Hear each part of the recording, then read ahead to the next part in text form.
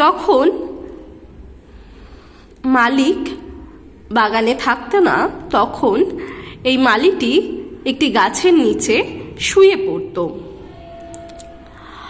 All the plants died up because he did not look after them properly সব উদ্ভিদে, অর্থাৎ সব গাছই প্রায় মরে যাচ্ছিল।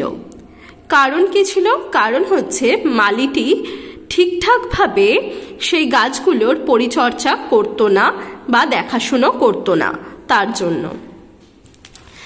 The master was very angry মালিক খুবই রেগে গেছিল এই জন্য।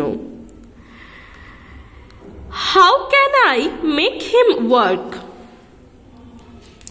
আমি কীভাবে তাকে কাজ করাতে পারি?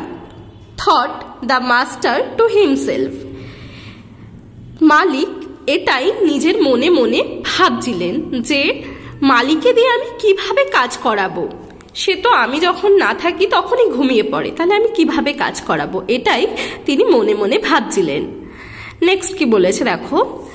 One day an old women came to the garden and ask the master for work. একদিন একটি বৃদ্ধ মহিলা সেই বাগানে আসেন এবং সেই মালিককে কাজের জন্য জিজ্ঞাসা করেন।